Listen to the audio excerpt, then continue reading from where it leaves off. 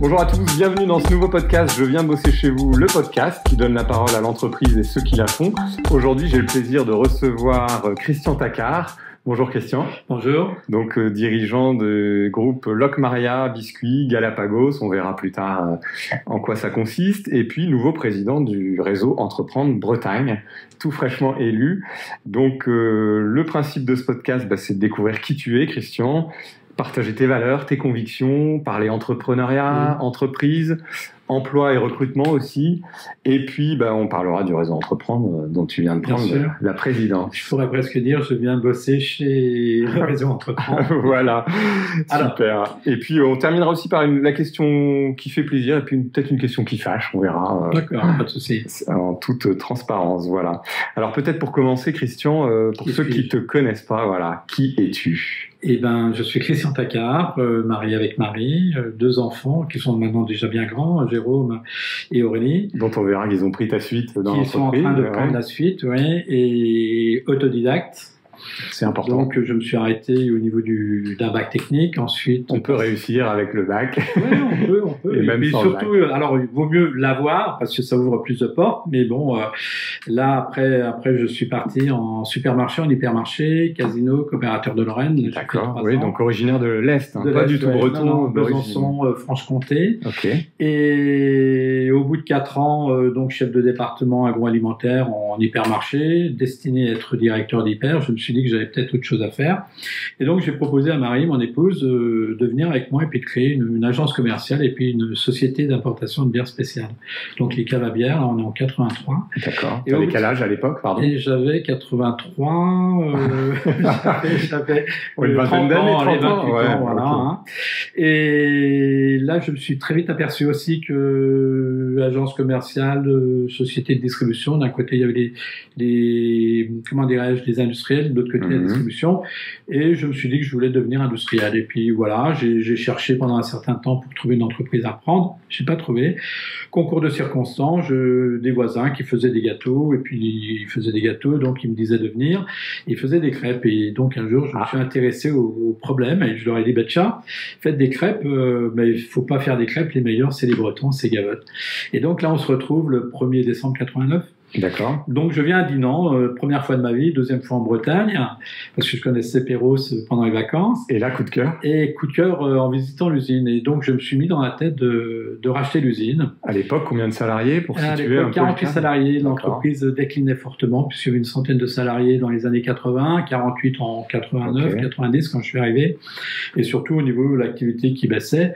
Et donc là, j'ai pas hésité, là, j'ai dit j'y vais. Euh, Et un challenge, quoi. si, un- ouais, c'est même plus qu'un challenge parce que l'entreprise n'était pas à vendre, je ne connaissais pas le prix, il fallait faire un montage financier d'enfer, enfin bref. euh, Qu'est-ce qui t'a pris?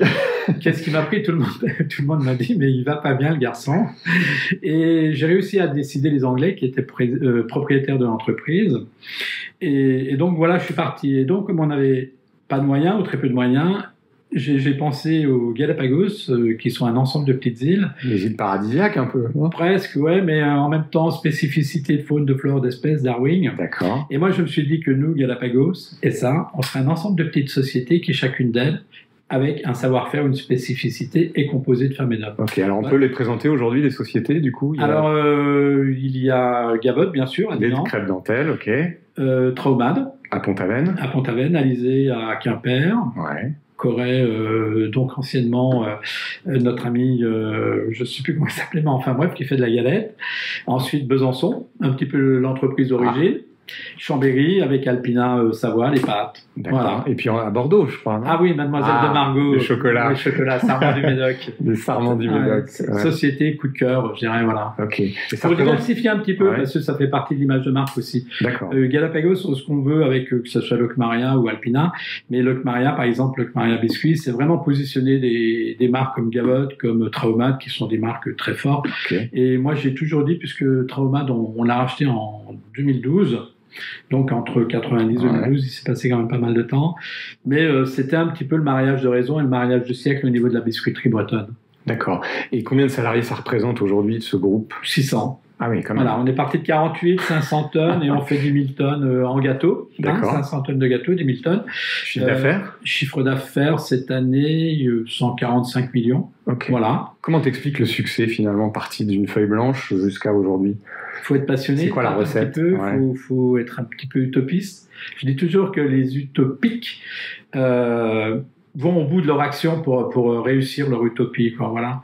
Et donc, euh, passion, le produit, puis en même temps euh, fédéré, hein, puisque je parlais des îles, mais en même temps au niveau des entreprises, c'est fédéré, puisque ce que j'avais constaté, c'est qu'entre 83 et 88, dans la biscuiterie, il y avait énormément de biscuiteries qui avaient disparu du marché, puisqu'ils n'avaient pas une taille suffisante pour euh, résister. La fameuse taille critique. Voilà, donc c'était 500, c'était 1000 tonnes à l'époque, et Gavotte faisait 500 500 tonnes, Besançon faisait 300 tonnes, enfin bref, Alizé faisait 200 tonnes, et l'idée c'était de me dire, eh ben, voilà, on les met tous, tous ensemble et on dépassera les 1000 tonnes. Et donc on unit les moyens, c'est ça? Oui, et puis on- après on spécifie un petit peu. Donc euh, le, le souci a toujours été un petit peu de, de grandir et en respectant un petit peu les valeurs humaines et puis les salariés dans les entreprises. Parce que qui dit euh, de grossir dit aussi un petit peu de concentration. Ouais. Alors ce qui est bien, c'est qu'en même temps, euh, comme je viens de le dire, on est parti de 500 tonnes pour, pour aller à 10 000 tonnes.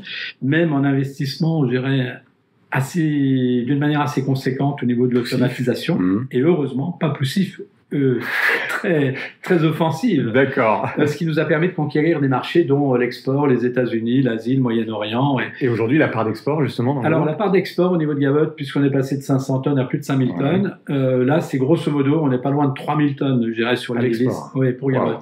Wow. Au niveau du groupe, ça fait à peu près 25%. Ok. Et alors, on disait les hommes, les femmes sont importantes dans l'entreprise, Ah oui, avec puis, une euh, dimension très humaine. Comment on arrive justement à Ben, je pense qu'il autant de salariés garder un esprit euh, PME, quoi PME, et puis je dirais surtout une, une proximité. Ouais. D'accord? Donc c'est pour ça aussi au niveau des... On n'a jamais souhaité, on aurait pu se développer encore beaucoup plus. Mais l'idée, c'était de dire, euh, ayons des, des tailles, des sites industriels à taille humaine. De manière, lorsqu'on rentre sur un site, qu'il y ait une sorte de proximité avec le salarié. Tout le monde se connaît. Voilà, on se connaît, on peut se dire bonjour. Même le- on peut être interpellé par le salarié qui dit Dites donc, monsieur Takar, je suis peut-être pas content là-dessus.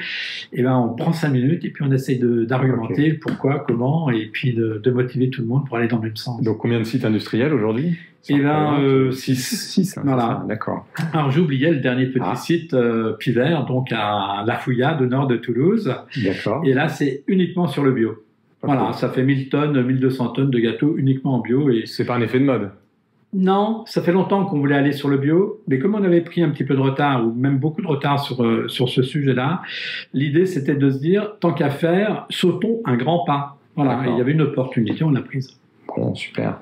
Et alors, euh, en termes de recrutement, on parlait aussi de, de, de salariés.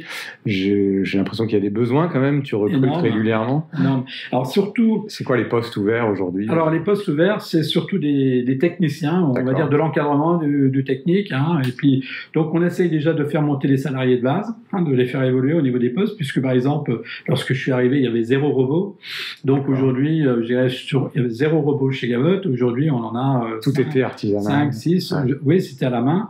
Et euh, on en attend encore un ou deux. Euh, je dirais qu'il y en a même. euh, ouais, ce qu'on veut, c'est automatiser, faciliter la tâche euh, du salarié.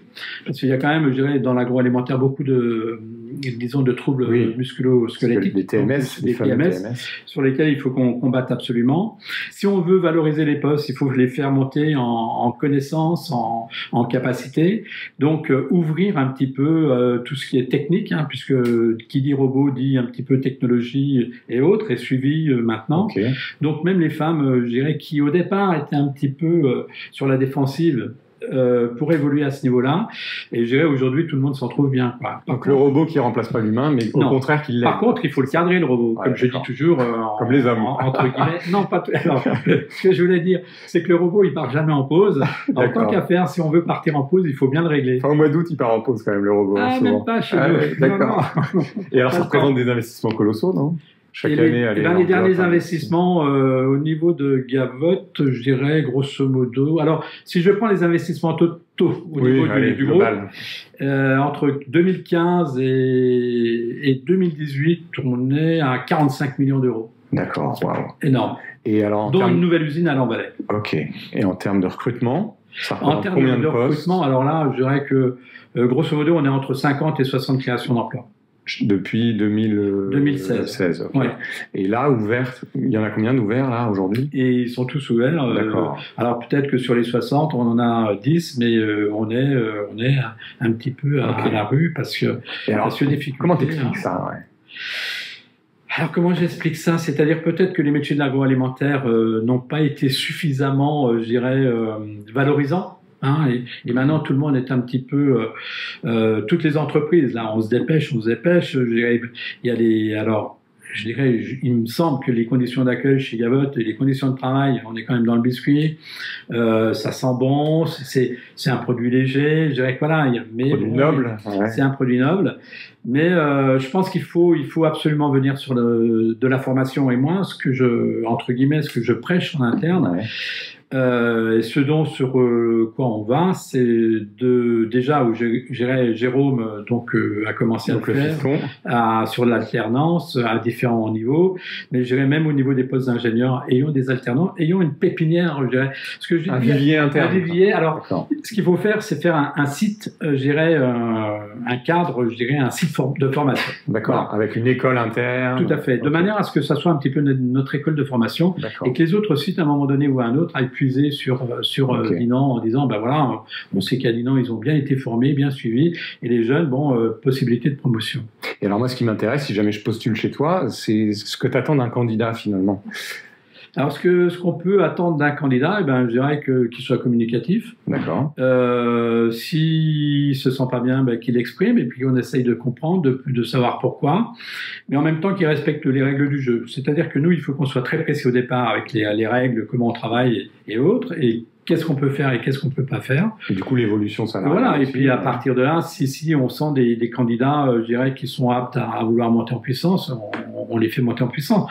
J'ai l'exemple d'un d'un petit jeune qui, qui était un petit peu, comme je dis toujours, au bord de la route euh, un jour, mais carrément, il, il savait pas ce qu'il voulait. Il avait 22 ans, bac plus 3.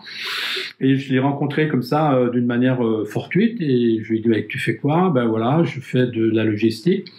Et je- on lui a proposé de faire le CNAM pendant deux ans. Et je dirais, ben, il a fait le CNAM et puis il s'est trouvé une opportunité que euh, il était second de sa promotion, donc il avait bien bossé. On lui a proposé d'intégrer. Six mois après, son chef est parti. On lui a dit, ben voilà, tu as un challenge, tu prends le, le responsable logistique.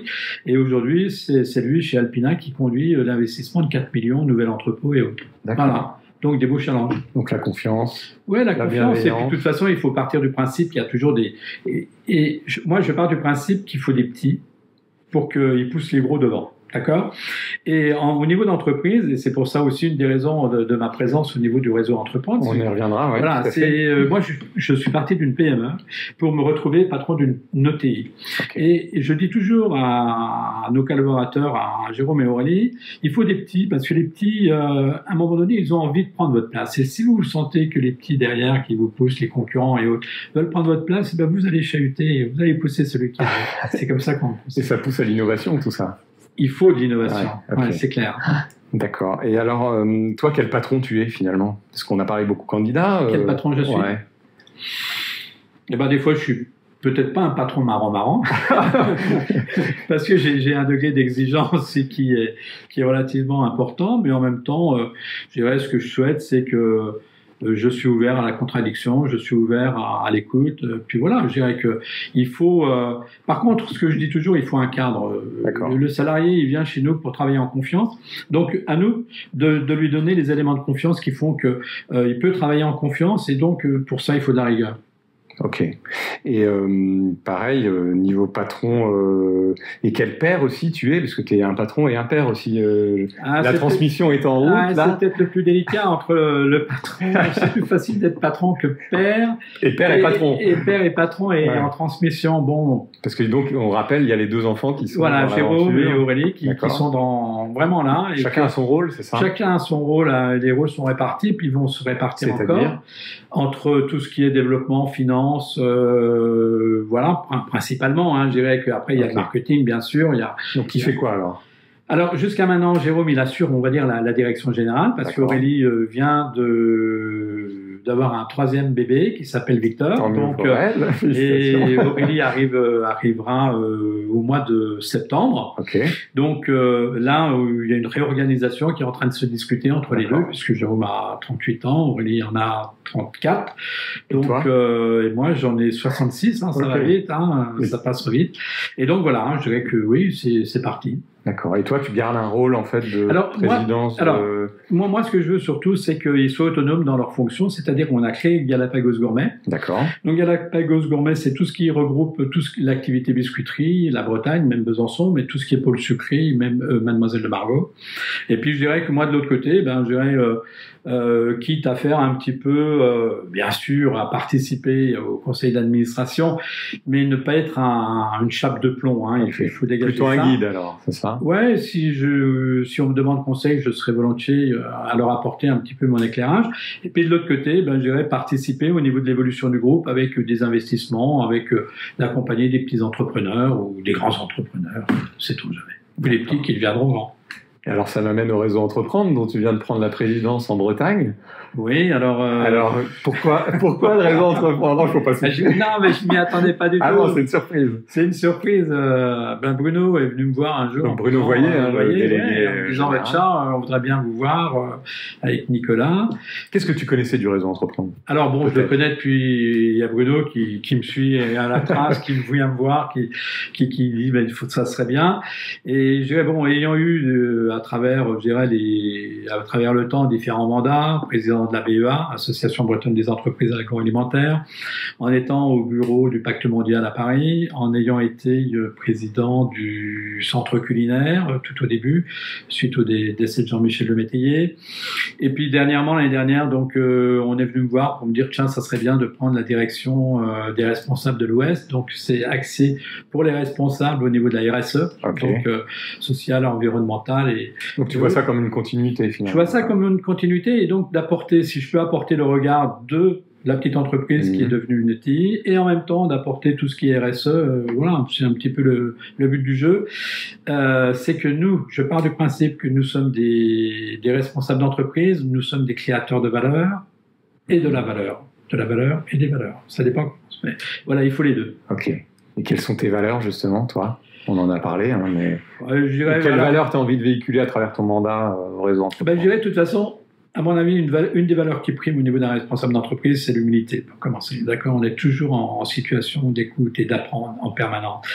Euh, ben, d'être passionné, Hmm. d'être optimiste, euh, de ne de ne pas voir les choses négativement, quoi, et puis de penser que que l'homme et la femme sont sont bien, sont bons. Voilà. Il y a toujours, à tout problème, il y a une solution, c'est ça? Il faut, il faut. Et une opportunité. Il faut, et puis de toute façon, on est condamné à trouver des solutions. Euh, Je dirais que le- la France, on fait quoi 1% de la population mondiale. Euh, si on veut pas se retrouver étouffé, étouffé pardon, il faut vraiment créer euh, de l'innovation, avoir euh, des gens performants, aller sur des sentiers où les autres ne sont pas. Enfin bref. Ok. Bon, merci Christian. Alors, on va passer à la dernière partie de ce podcast, Good Cop, Bad Cop. La Oui. question sympa, la question qui fâche. Tu commences par laquelle? N'importe. Allez, la question sympa. La question sympa. Où t'arrêteras-tu? Ah Ça peut être la question sympa ou la question pas sympa. attention. Non, mais il faut que je. Bon, j'ai dans la tête de dire. euh, Moi, je suis convaincu. À la limite, tous les matins, j'arrive au bureau de, à 7h15, 7h30. Déjà, je me dis, mais pourquoi tu arrives si tôt? Et puis en même temps, je me dis, ben, c'est bien. Et je, non pas que je me force, mais je suis conscient qu'il faut euh, entraîner les jeunes, passer la main. Voilà. Ok. Donc, euh, c'est sans fin. Quoi. Ouais, c'est. Non, mais je pense qu'il faut. euh, Je sais pas si on peut s'arrêter quand on est passionné. On est passionné. Quoi. Voilà, je suis passionné. euh, Ok. Donc, euh, mais par contre, bon, et il faut que je reste un petit peu en dehors du cercle des fois. D'accord. Bon. Alors, la question qui fâche maintenant. hein. Oui. Ton salaire, il est public, tu le dévoiles, t'en parles librement. Comment tu Alors- abordes cette question-là? Ce que je peux répondre, mon salaire n'est pas public, Ok, je ne le dévoile pas. Très bien. Euh, ce qui est sûr, c'est que mon salaire euh, pondéré euh, est largement dans le tempo entre une fois le SMIC et dix fois le SMIC. Donc, j'ai pas de souci de scrupule là-dessus. Et correspond au temps investi aussi. Oui, ouais, mais je me suis jamais, moi, pris de prime. D'accord. D'accord, sur les objectifs, parce que je pars du principe que euh, le résultat fait partie un petit peu. Par contre, je suis pour, euh, je dirais, la- l'intéressement, la participation au niveau de l'entreprise. Bon, J'estime que j'ai créé de la valeur et un jour, j'aurai forcément un retour de la valeur que j'ai créée. Merci Christian. Bonne journée. Voilà. Merci à vous, en tout cas, pour ce nouveau podcast euh, Je viens bosser chez vous. Vous retrouverez dans le détail et dans la description ben, tous les liens importants et intéressants euh, pour postuler notamment euh, chez Loc Maria ou Groupe Galapagos. Voilà. Et puis, ce podcast, vous pouvez le retrouver aussi en vidéo sur la chaîne YouTube Je viens bosser chez vous. Merci. À bientôt pour le prochain podcast. Au revoir.